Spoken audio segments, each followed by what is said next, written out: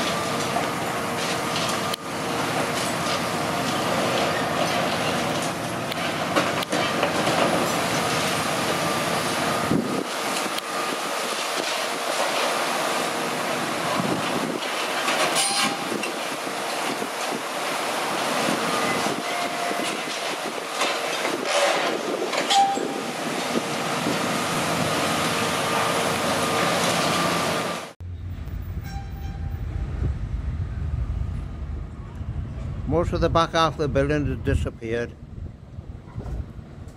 Won't be long destroying the front half.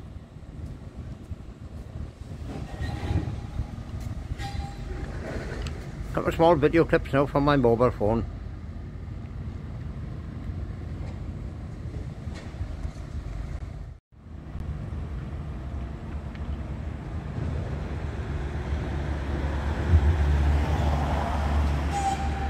Nearly gone.